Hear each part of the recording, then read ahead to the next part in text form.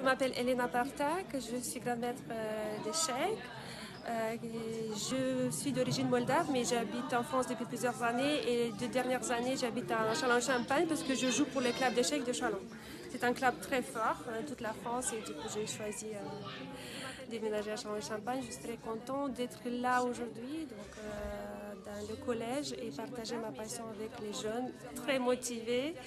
Euh, on a fait une simultanée du coup contre eux, donc j'ai eu la une possibilité de le partager des conseils, des petits secrets, parce que j'ai une expérience de plus de 30 ans. Et euh, j'étais assez heureuse de les voir motivés. Voilà. J'espère qu'ils vont bien continuer. On va peut-être se revoir l'année prochaine. En tous les cas, c'était une très bonne, expérience parce que euh, moi, j'ai enseigné aussi les échecs dans les écoles. J'aime bien partager avec les jeunes euh, toutes les secrets.